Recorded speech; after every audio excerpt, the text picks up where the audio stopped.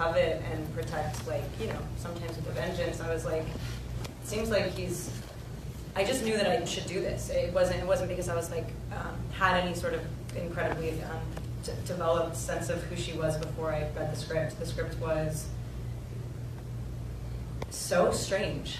Um, so trippy. Yeah, I, it just felt like such an internal experience, and ultimately, I didn't know how, how far he was gonna gonna push the surreality. But um, when we did the pearl scene, and it wasn't just a sort of moments kind of fantasy nightmare, uh, and, it, and it was a really drawn out, like something that you can't wake up from. When you, and you wake up and you're like, God, I feel like I just dreamt ten years of fucking hell that was that pearl scene. I just couldn't believe how long we were doing it. I couldn't believe how many looks and how developed that interaction was. Um, that was all in the script, but I, I, I will say like um, all of these all of these breaths in between large statements is like what this movie focuses on. I just think that's the coolest thing ever. I, I, I did all the research, you know, whatever. I read all the books and kind of buried all these emotional triggers and.